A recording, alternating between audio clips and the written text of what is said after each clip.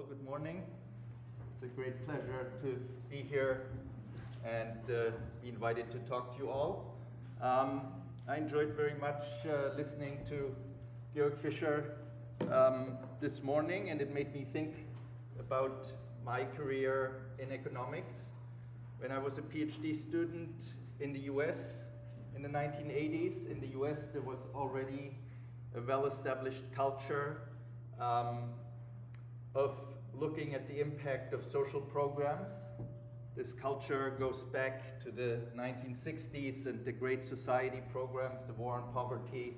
This was a period when the US government decided to spend an enormous additional amount of money on those types of social programs. And there was a real interest in learning um, what do these programs do. And that got academic researchers involved.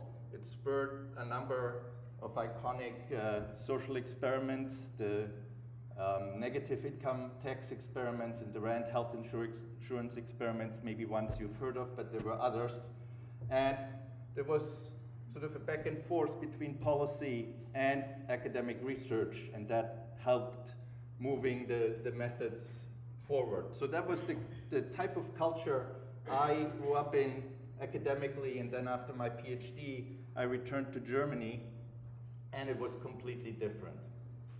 Um, in fact, uh, at the time, this was in the early 90s, there was a little scandal because one of the big German research institutes was uh, asked to prepare some policy evaluation reports for two different ministries around the same time period. The two ministries had asked basically the same question, but the research institute delivered two different answers that happened to coincide about the, what the ministers were interested in hearing. And, you know, in a sense, I just think of this, it was uh, um, symptomatic of, of some of the culture at the time. I don't want to pick on anybody here, but in the past 20 years, um, observing what's been going on in Europe, it's really been a, a revolution in terms of um, how policymakers think about um, and are interested in learning which programs work. And then, um, as Georg Fischer said, in terms of academic research, how that has changed in Europe as well, and the, the capacity that has been, been built. So it's not that now we get everything right. Um, it might still well be if two people do an impact evaluation of the same program, they may come up with opposite answers. But I think we're trying much harder, and uh, I think the, the heart is much more in the, in the right place. So in my talk today, I actually want to talk to you about, well, how do we know whether we got the right answers? And uh, in econometrics, we think of this as doing robustness checks. So this is a, a project I've been working on with a former PhD student of mine, um, Hannes Schwandt. Um, here is uh, sort of an example to motivate to you what uh, this is about. This is a study by Lalive and Zweimüller. They want to know what's the impact of uh, an extension of parental leave, parental leave duration on various outcomes this is looking at whether families have additional children, sorry. And in very many studies, you will see something like this, that the researchers start with showing you some baseline results. This is basically a, a regression discontinuity design where they compare parents of children who were born in June, and then on July 1st, the policy changed, so babies born after July 1st um, their parents will be entitled to more parental leave. So that's the comparison. Um, the post-July born babies are the treatment group and families um, that get more parental leave have about 0.045 more children. Now, what they do, and what I'm sure many of you have done, I know I have done it in a lot of my work, then we run a different model a different specification where we include a number of controls. And they're actually more than the ones I'm showing you here. So these are variables about the previous employment status or unemployment of the parents. Um, they're entered in a regression, and we look at whether the coefficient of interest, the treatment effect, changes. It here goes from 0.045 to 0.049. And if that change is not very big, then we declare victory. We say our results are robust, um, and hopefully this is more or less the right estimate. So we want to think about the process, what underlies this reasoning, what are we doing here, and is this the best way of, of checking for robustness? Um, when we do this comparison of different specifications where we enter additional control variables in a regression, um, typically researchers just eyeball what happens to the coefficient, to the treatment effect they're interested in. There's no formal assessment whether the movement in the coefficient is big or small. Um, there's typically no formal testing. There's some theory underlying what we're doing here, even if we're not um, explicitly aware of that or make it uh, um, necessarily spell it out. You might know the paper by uh, Altonji, Elder, and Taber. Um, and they think about the fact that as we enter these control variables that we might have available in our data, we think of these variables as capturing things that are very much like the other things which may still be omitted. So these observable variables um, might be very much like other unobservable variables that could also be confounders of the treatment effect we're interested in. And if the observables are like the unobservables, then this procedure makes sense. There's a recent paper by Emily Oster um, of actually making very precise the, the relationship between observables and unobservables and exactly what you need to assume in order to point identify a treatment effect. Now, on the other hand, when we do randomized trials or when we look at regression discontinuity designs, researchers often don't do this, but instead they will show you balancing tests. They also use additional variables from their data set, but in a regression sense, they put these variables on the left-hand side and show you a regression of characteristics of treatment and control groups against the treatment and check whether the two groups are balanced. So this is another procedure, um, but very much related to the same type uh, of question, trying to check whether we think our results are going to be believable. So what do we do here? Um, first of all, we explicitly spell out what does this coefficient comparison that's often done um, uh, you know, in a very informal sense, what formally would that involve if we did an explicit statistical test? And we compare this test to the balancing procedure that's often done in the, you know, when you have a randomized experiment. And I'll spell out to you in a slide or two exactly how these two relate. We formulate this problem in terms of a single variable that you might want to add to a regression. So going back to the Lalive and Zweimüller example, they actually have lots of variables here.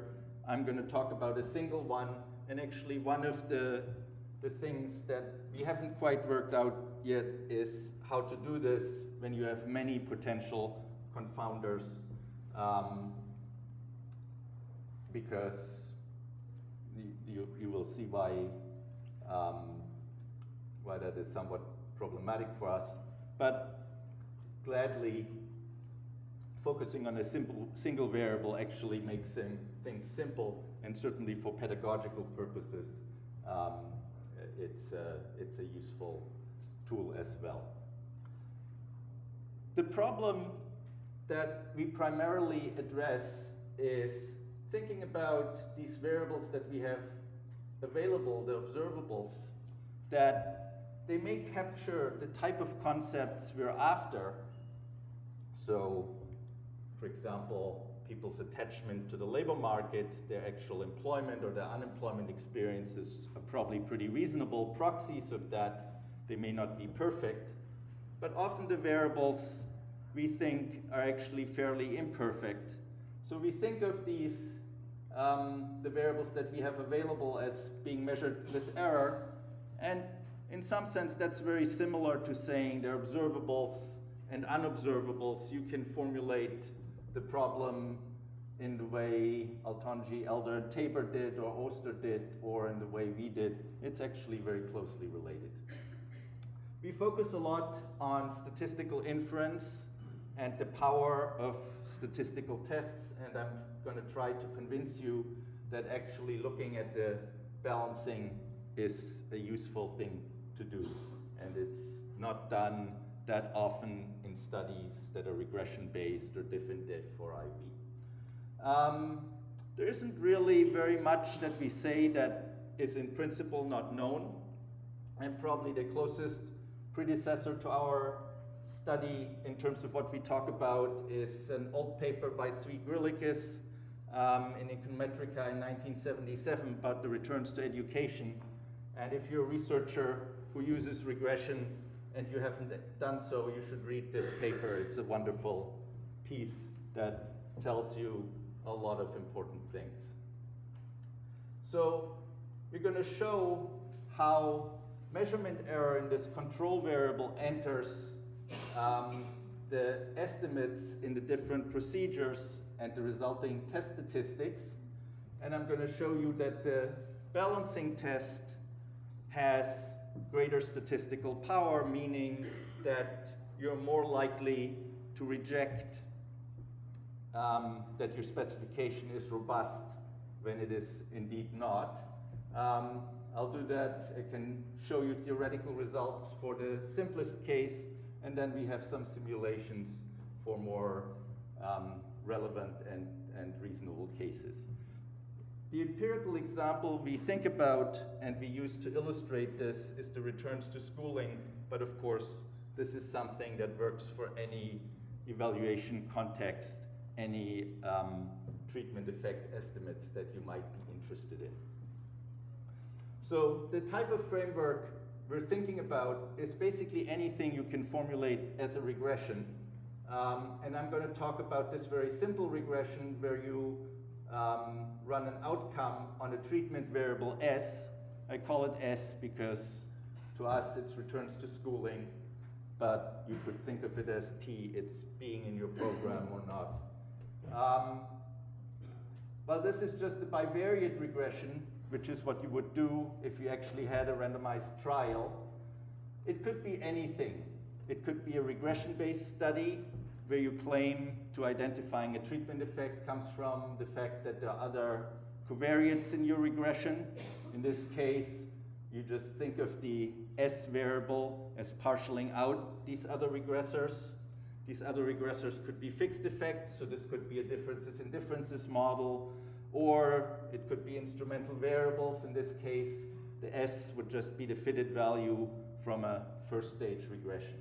Whenever you can formulate your problem in this way, what I'm going to say more or less applies across a lot of uh, um, different methodologies. So I want to compare this regression to a second regression where I enter my candidate confounder some characteristic of the treatment or control observations or some pre-treatment outcome. Um, and I want to see how this affects the treatment effect beta. So that's the one procedure. The second procedure is to take this variable x, the group characteristics or the individual characteristics, and run a regression of x on the treatment. And again, the specification of this would be commensurate with what you have up, up here. So if there are other regressors, you can think of them being here as well.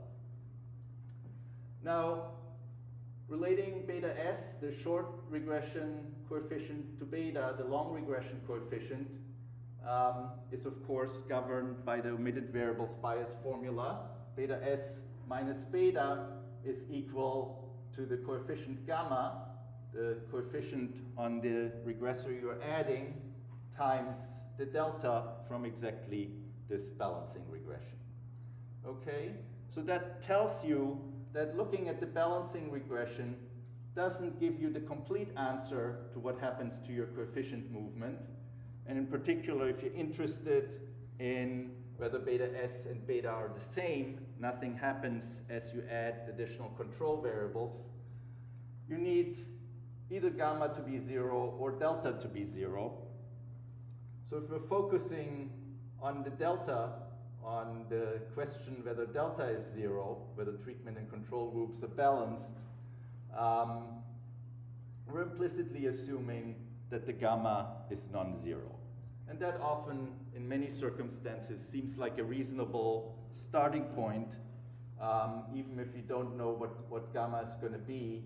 Um, the fact that the variables we're thinking about, that they actually affect outcomes that frequently might be very likely if you think of this as a pre-treatment outcome, it would be very obvious that it ought to be correlated with post-treatment outcomes.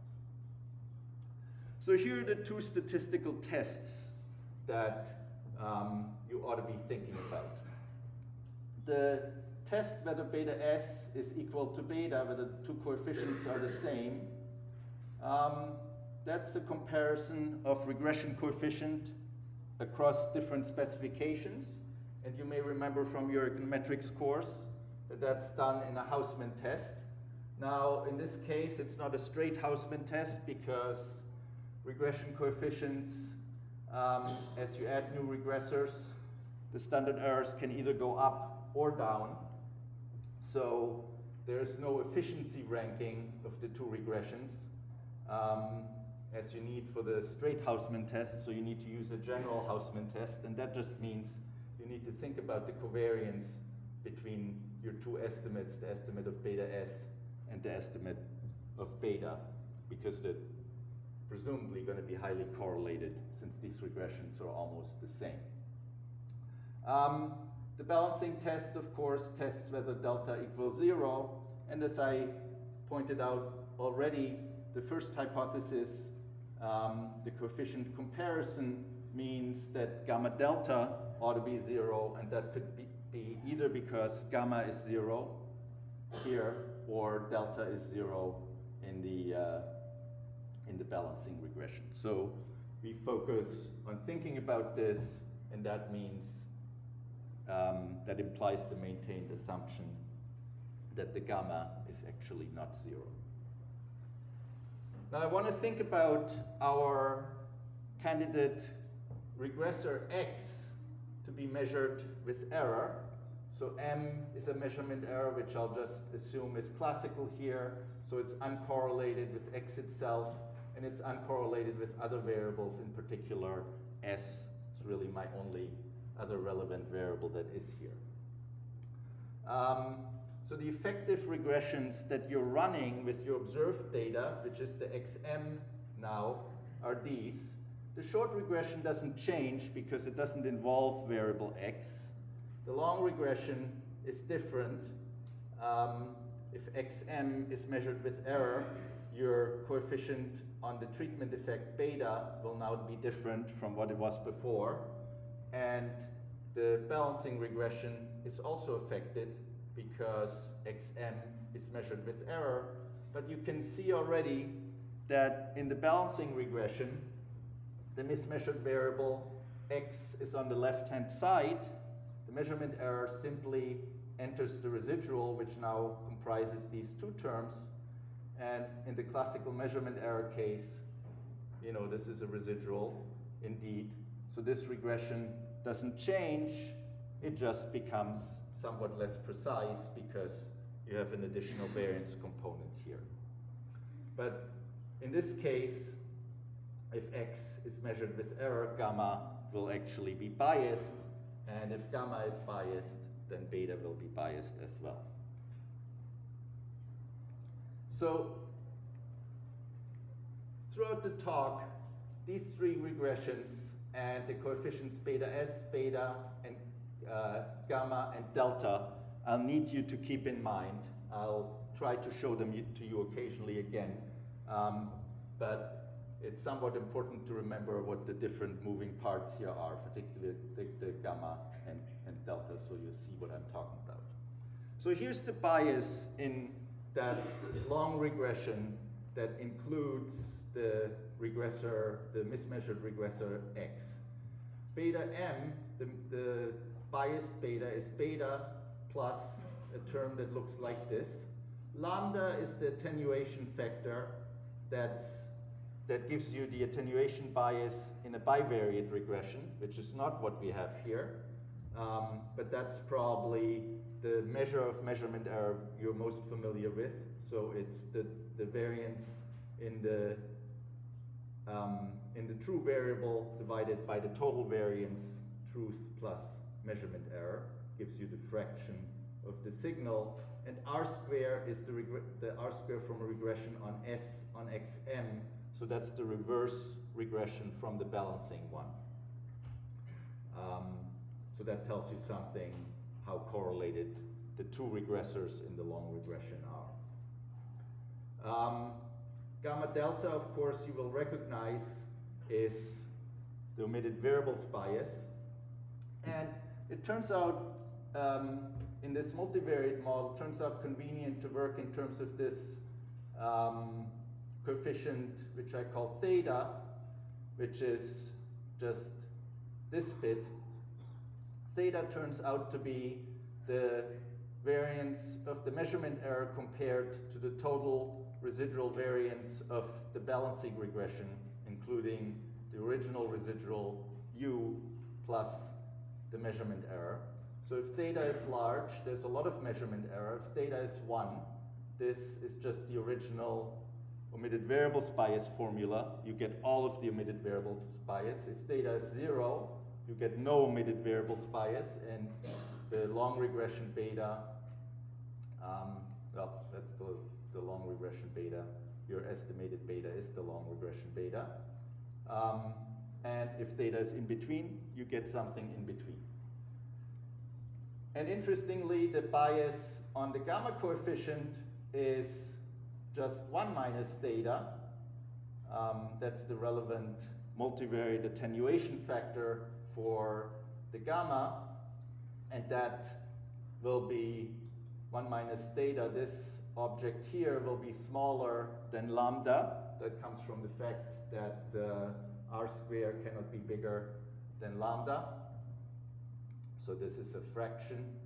Um, and you can see that the bias that you get in, in beta and gamma is sort of an apportionment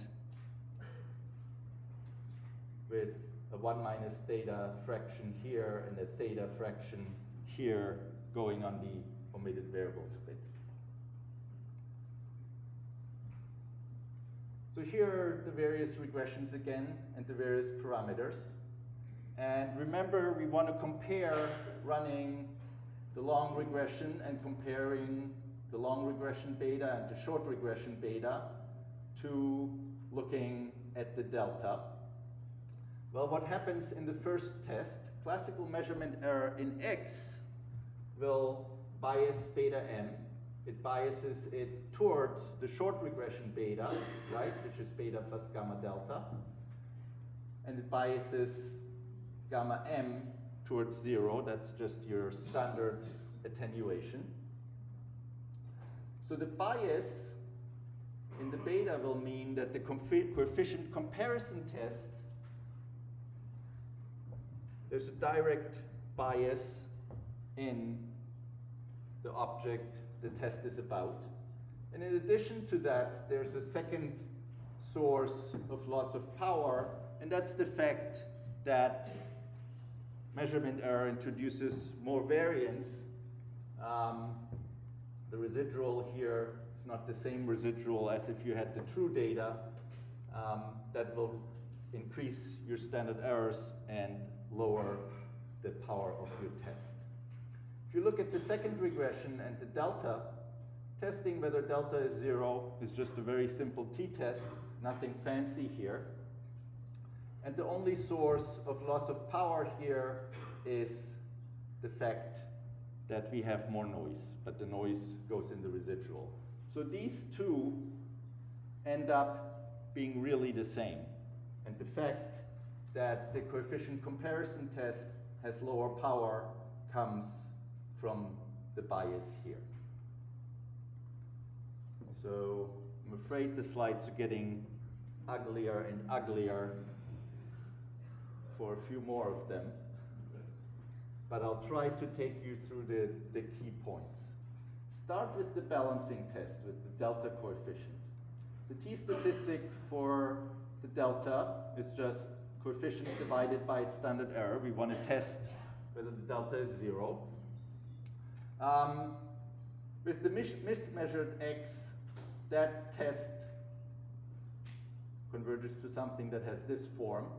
Um, if you had the true data, it converges to something that has this form, and you can see it only differs by this attenuation factor that's related to the measurement error, the 1 minus theta. And that comes exactly from this additional variance source. Now compare this to the t-statistic on gamma. If you were to test whether the gamma in your long regression is zero, again, form the t-statistic, same procedure. Um, if you had the true data, this is what the test would converge to. But with the mismeasured x, you get something that looks somewhat different. And again, you have the 1 minus theta here, just like in the test for the delta. That comes from the fact that there's more noise that goes in your residual. But there's also this component here that wasn't there with the true data, and that wasn't there in the test for delta. And that part comes from the bias in the coefficient from what's going on here. Okay, so both of these will mean that uh, the t-statistic is lower, so you're less likely to reject if the gamma was truly significant. Now this one, the coefficient comparison test, unfortunately, is yet even uglier. But if you followed the basics so far, it's actually not that bad because it's really the same bits reappearing again. You can formulate this test um, as a t-statistic as well. You're just testing a single hypothesis whether the two betas are the same. So here's your coefficient, and this is the standard error of this difference in the betas, and it involves the variances of the beta estimates, and it involves the covariance. And notice that um, we derived before that this difference is delta gamma times 1 minus theta. I'm going to replace this on top. And in the bottom here, what I have here are three terms. And these three terms, if you look at the, at the bottom line, you will recognize from the previous slide. Um, if you set the, if you take the delta Forget the gamma for a second. Suppose there was no gamma. You only had the delta bit.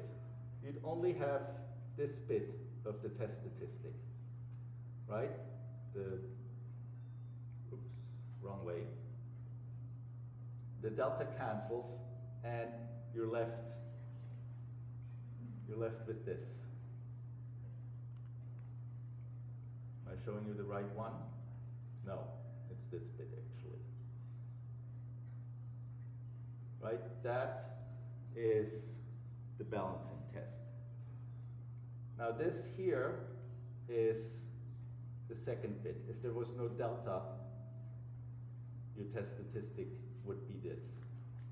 It's exactly the t-test for whether the gamma is zero. So it turns out that the coefficient comparison test, the test statistic for that, is a combination of what's going on in the balancing test and what's going on if you were to test whether the added regressor is significant in your outcome regression that you're interested in. Okay? So the additional, the, the source of bias that we had here for the gamma carries over to the coefficient comparison. Because if the gamma is attenuated, then whatever variation in the x that you're not capturing that's correlated with your treatment will show up in your beta estimates. That's the intuition.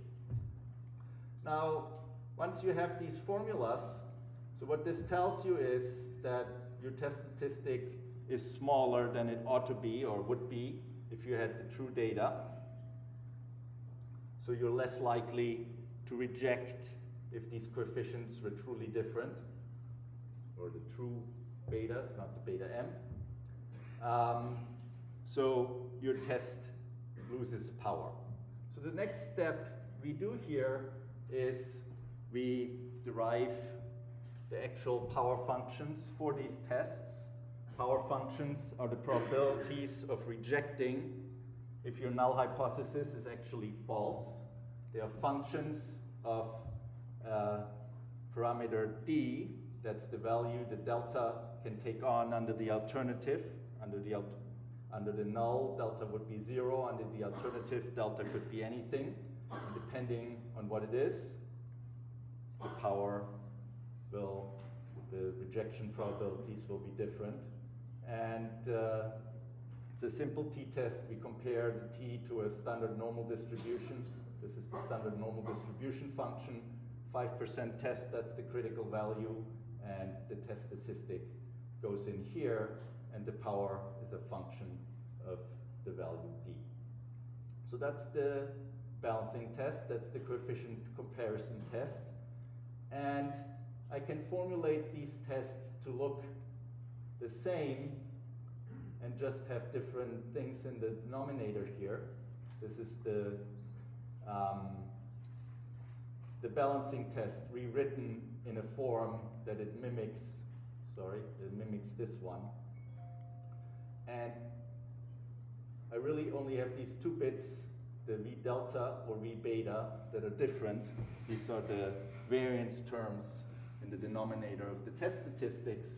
You looked at this big ugly one and comparing it to the one that's relevant for the, uh, for the balancing test, the V delta, the V delta is just one, this part of the big expression here. So the coefficient comparison test has more positive terms, it has more variance, less precise, and therefore will have less power. Now, you can't see this from the formulas, but when we've played around with this, and I'll show you some power functions in a second, it turns out that most of the loss in power seems to come from measurement error. The measurement error is captured primarily by this term here. You see the theta um, in here. This is the term that's due to the bias in the coefficients that's introduced. There's obviously also the 1 minus theta out here, but that seems to play less of a role. Okay? Even if the measurement error was not there, set the theta to zero, this would go away. You still have this second term here in the coefficient comparison test. That's also a source of loss of power compared to the uh, balancing test. And that simply comes from the fact that if you do the balancing test, you're only looking at delta, and you're assuming that gamma is non-zero. Remember that was my maintained assumption. This control variable you have available you believe is correlated with outcomes. So that assumption, that implicit assumption helps you, right? It gives you some statistical power, while here we're relaxing this, we're implicitly testing whether the gamma is, uh, is positive or not as well. So you may want to keep this in mind. This is really the interesting part, and I'm going to show you that this is driving most results. So here I'm going to show you some simulations or some theoretical power functions to start. I need parameters for these. I've picked parameters um, so that the outcome regressions resemble the type of regressions we often see in microeconometric studies. Um, this panel here shows you implied R squares for the regressions of interest, which would be this regression here, including your candidate control X. And you can see that uh, they range from 12% to 68% here over the range of values I'm going to show you. I'm going to talk about a fair amount of measurement error. The lambda, remember, is the, the reliability ratio. So 0.5 means half of the variance in X is noise. 0.25 means um, three quarters of the variance in X is noise. So that's a pretty large amount of measurement error. But often I like to think of these variables as really being somewhat poor proxies of the concepts you're truly after. Okay, so here are some nice colored graphs. These are the power functions. On the x-axis, you have the value of delta. If delta is zero, of course, you don't reject. That's your null hypothesis. So you should get uh, rejection probabilities of 5% for a 5% test. That's just type 1 errors. Um, and then as d goes up, the power of these tests increases. You're more likely to reject. And uh, if there's no measurement error, that's the black lines. Power goes up reasonably quickly for my parameters. For deltas um, close to 1, you basically reject all the time your test has enough power. So this, this is nice. And you see here the balancing test, which is the solid line, and the coefficient comparison test, which is the broken line, they're almost on top of each other. You see that the balancing test has slightly higher power, but it's not a big difference. And that's what I just talked about, that you gain something from this implicit assumption that uh, the gamma is non-zero, but otherwise there's really not much. Now the blue and the red, they're the ones that introduce measurement error, and now you see bigger gaps opening up between the two test statistics. And particularly if the measurement error is big, so your x variable is really a pretty poor proxy, um, the tests are quite different. And in fact, the coefficient comparison test here never reaches power of 100%. The, the balancing test, of course, is affected as well.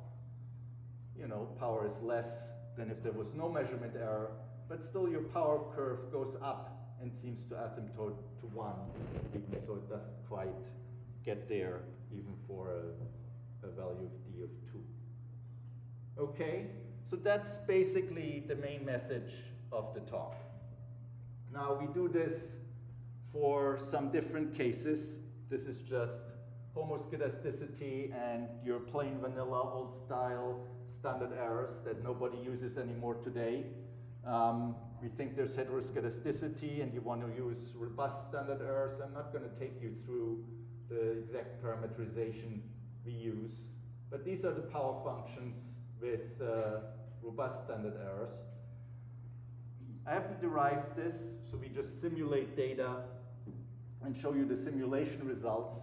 The black lines are the theoretical power functions for the homoscedastic case again. The blue lines are the robust standard errors um, and no measurement error. And you see there's a bit of a loss in power, but it's not great. And the two tests are very similar. But again, with measurement error, that's the red lines, you see big gaps between the two tests opening up. So the basic result goes through. Now again, classical measurement error in a variable is probably not all that interesting and very often measurement error will be related to some of the variables that we're dealing with. So a particularly interesting case is mean reverting measurement error where the m is actually correlated with the variable x and the parameter here, the kappa, is negative. So we know, for example, when people report incomes, people with high incomes tend to underreport, people with low incomes tend to overreport. Um, we also know that every binary variable can only have mean reverting measurement error, measurement error that's correlated with the truth, because the variable only takes on two values. Um, if it's one, the measurement error can only have been positive. If it's zero, the measurement error can only have been negative, not the other way around. So this is a pretty important case. And again, you see the same result. Once you have measurement error, you see the same gaps between the tests. Um, there are many more scenarios in principle we could explore, but my sense is that this result is pretty robust. Okay? So the upshot from this is that when you do impact evaluations and you run regressions of the form as they do in the Lalive and Zweimüller paper, um, rather than putting your controls that you want to test on the right-hand side, put them on the left-hand side, run the balancing re regression, and report that result to me. That may often give you more powerful results. Um, I should stop in a, in a couple of minutes. I'll just show you very quickly in our empirical example that that indeed happens. Um, I'm not going to tell you great details about this, but uh, take this for example. This is a returns to schooling regression. So it's uh, earnings on years of education. There's a control for ability here, a test score. This is basically the, the data that Griliches used in his 1977 paper. Um, it's the same data David Card used for returns to schooling paper as well. Um, you find about a 6% return to schooling. And the variables we're interested in, in seeing whether they matter are mother's years of education and whether the household had a library card when the individual in question was growing up. So these are variables about family background. But family background influences can take many forms. And we certainly don't think that mother's years of education or whether you had a library card, which is just a dummy variable, capture everything.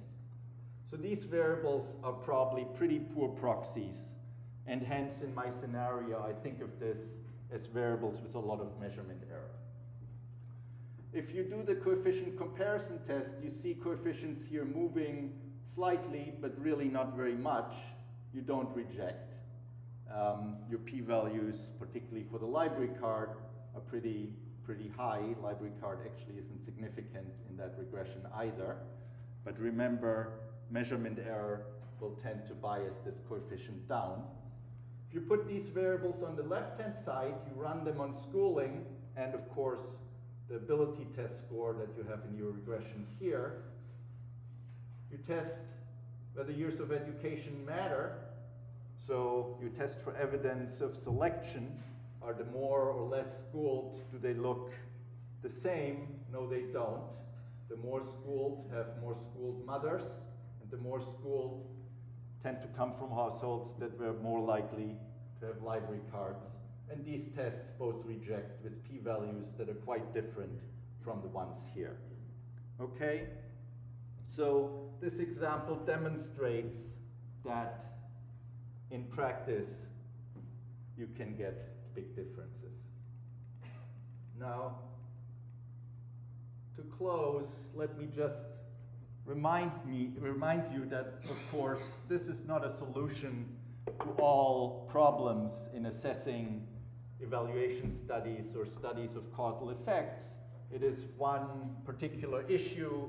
It's how do we go about robustness testing and how do we go about it in particular if the variables we have available we think are poor proxies, that's the issue we wanted to address. I'm trying to point you in a direction that I think we've not seen done enough in applied work. Um, it doesn't solve all your problems. Um, if your results come out clean, that by itself doesn't mean your results are necessarily the truth. There are many open issues, or at least some open issues, that we haven't really addressed. Um, in particular, we haven't really any good thoughts on what you do if the, controls you want to add in your specification check are many.